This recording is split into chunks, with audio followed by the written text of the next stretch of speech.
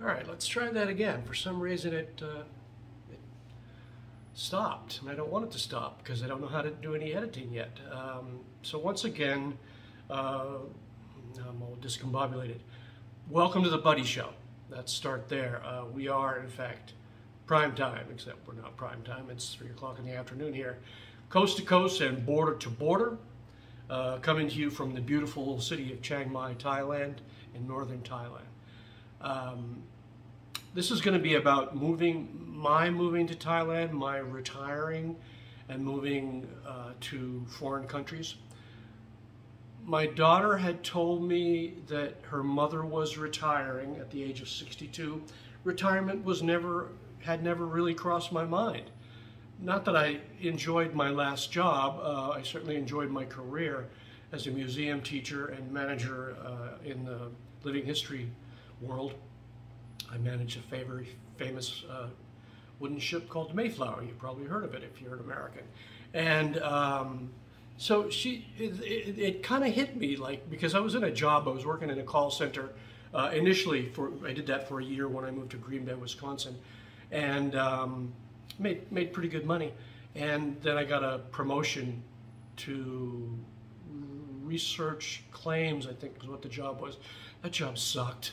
I hated it. I was I sucked at it, and I was probably going to lose my job. And this is right right around when um, COVID allegedly hit, and um, so I'm on a phone call with my daughter, and she tells me again. She tells me her mother is going to retire at 62, and I thought, retire? Wow, I don't have to do this job anymore. And what I what I wanted to do, what I was sort of um, putting in the works, is that I could take the job that I was at since since it was phones and I could, I was working at home at the time anyway, and move to Las Vegas. Um, simply because they had a Chinatown there and I wanted some good Chinese food, which you cannot get in Green Bay, Wisconsin, lacking very many Chinese food. You can get good Thai food because there's Hmong people there. Um, and I wanted to do that because ultimately what I wanted to do was be a writer and maybe even do some of this stuff. Uh, and I thought, well, that'll be a better situation for me to become a writer after work um, because the weather is better, and I, you know, I hate winter, uh, having grown up with it in Massachusetts. And then uh, when when my daughter told me her mother was going to retire, I started thinking retirement, huh? Well, how about how much will I make? And I figured it out, and I was pretty accurate. And uh, I thought I can't live here. I, you know, I could live here in a slum area on that kind of money. And, and Wisconsin, Green Bay was actually fairly cheap. I, I had a two bedroom apartment with heat included, and which is important in Green Bay, Wisconsin. And it was $760 a month, which you, know, you can't really get anything for in Plymouth, Massachusetts. A one bedroom without utilities is probably $1,200, maybe more now. I've been gone a long time. And uh, so I started uh, looking on you know YouTube, which is what you're doing now, and watching particular um, YouTubers, particularly in Mexico, and because that was Mexico was close and I knew it was cheap, and I knew I could go there without any hassle, which is still true. So I started watching um, Tangerine Travels, uh, Two Travelers in Mexico, and the Kinetic Kennons, among others, but those are the ones that, that stick in my mind. And um, and so I was watching Maddie and uh, and uh, God, what's her name? His name uh, Jordan and Tangerine Travels, and they were in Guadalajara, Mexico. So I thought, okay, that looks like a cool place. I'm gonna I'm gonna go to Guadalajara, Mexico, and so I did. I up and moved and uh, went to Mexico and stayed there for seven months. I got interviewed by two other YouTubers, my friend Gio in the Philippines and King Lee. I don't know what King's um, channel is called anymore. I think he's doing sports now, not so much travel. And, um, and got a lot of contacts through those interviews. People came to Mexico to visit me and would, would um, you know, email me for advice and stuff like that. Sit over here to center up a little bit.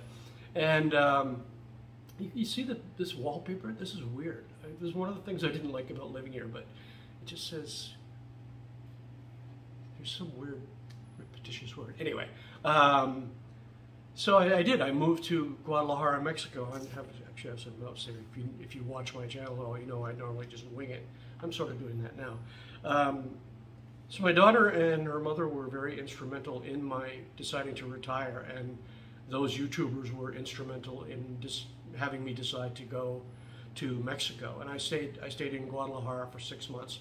I liked it. It's a little too big for me, uh, as was Bangkok when I was there. We'll get to that. And um, uh, Gio and King, Bali. And so my friend Gio had had contacted me. He had broken up with his girlfriend. He has a wonderful new girlfriend now. Uh, and he put forth the idea of maybe let's, you know, we let's go split a place in Indonesia. And he sent me a, a still of a villa in Bali. And I thought, how about Bali? He says, no, I'd rather go to Jakarta. I thought, I don't know, I'd like to go to Bali. So I'm struggling uh, in Mexico, not for any particular reason, but uh, my visa, my, my tourist card was coming due. And in fact, I overstayed for a couple of weeks in Mexico the first time, not to any um, result at all. You know, they just didn't care. Um, and uh, Gio had decided he's not going to move there, and so I still did. I moved to Bali, Indonesia, and I lived there for six months. Uh, met um, my friends Rosemary and Simon and sublet a house from them as they were going back to their house that they owned.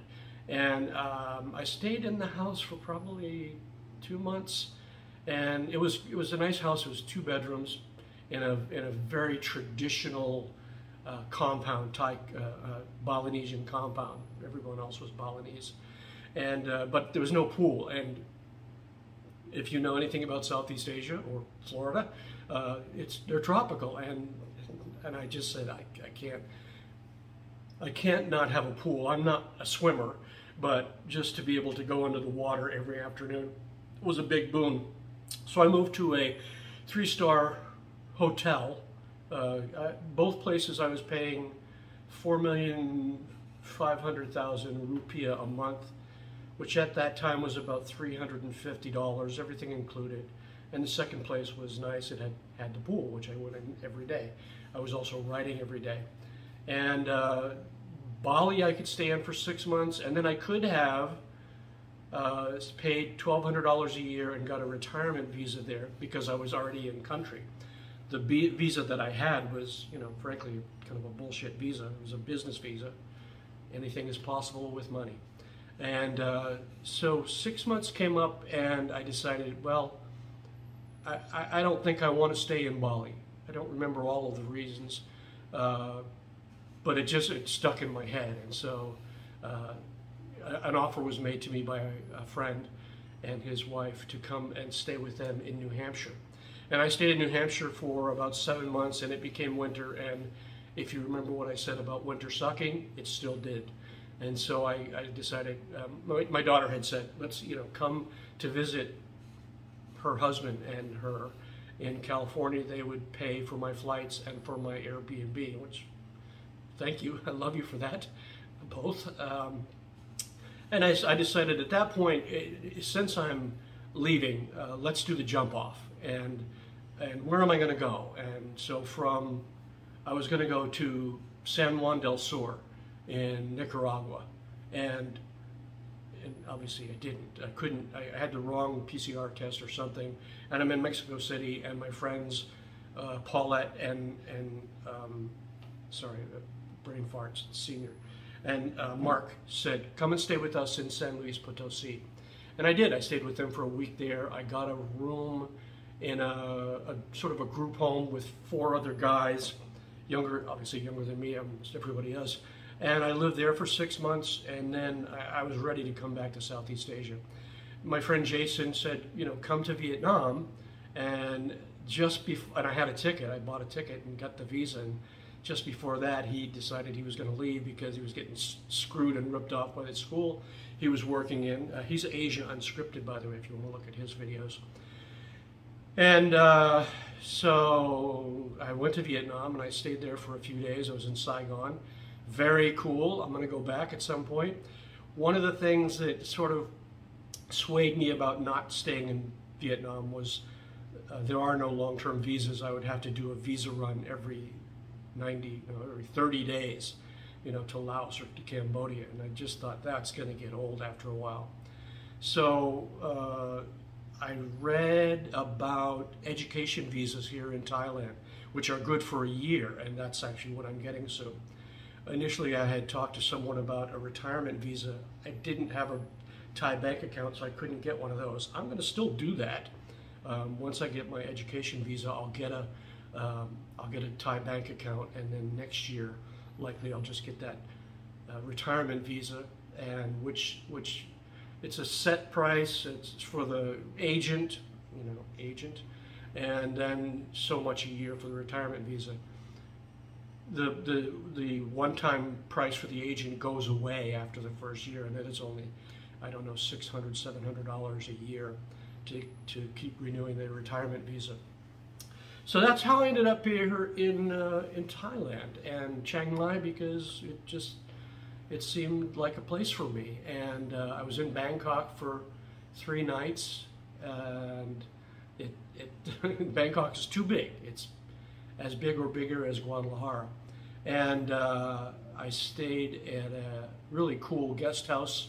It's it's actually I think it's my most watched video on this channel and uh, that was nice. It was very cool, very traditional, very Thai, very Thai neighborhood. Then I moved over to the Nimman area, which is sort of backpacker, central, hip. It, it was nice. It was too Western for me. Uh, and I started looking around for condos, which is what they call apartments here, and the place I live in now, which I'm, I'm still going to do a, a, um, a, video tour of, just waiting for the weather to get better. And um, and chose this one because it's 50 square meters as opposed to the other two that I looked at. One was in Nimman and one was here, I think, yeah, in this building. Um, that one was 12,000 baht a month, and the other one was 10,000 baht a month, but was only 35 square meters. So this is this is a lot bigger.